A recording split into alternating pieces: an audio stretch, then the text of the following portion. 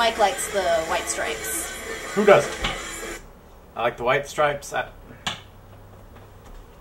Let's talk about different musical tastes. Oh yeah, that's true. So like, how do you decide like what to play in the house? Uh, for example, what we've decided is uh, when my music is is being played, uh, which is somewhat of a rarity. Uh, it's we've agreed that I will wear headphones. Right, because his music is so painful to listen to. Trust me. So, uh, it, it just really is, and most people feel that way about you know White Stripes. I know they're kind of popular, but some of the bands that you like are just. I mean, it's literally like dogs barking right in your ear, or it'd be like if Animal a duck, Collective, yes, if, they like, include barks and yelps. No, no. No. But it would be like if a duck was biting your ear and like the duck had little fangs. That's how it feels to listen to some of his music. So I think that's just like, you know, that's Yeah. just human.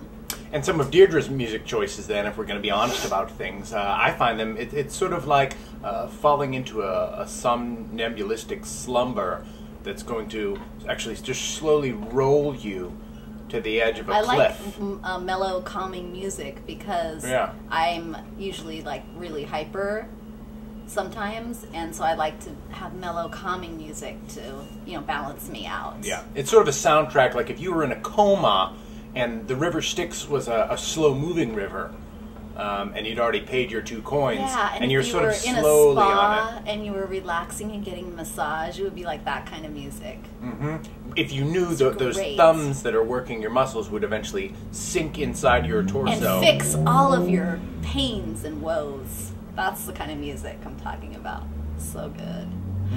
Oh god, it makes me feel good just thinking about it. Yeah, easy listening, and makes me wish I had uh, another pair of headphones. Imagine you're in an elevator, but someone's giving you a massage, and there's a really comfortable, heated massage table in there.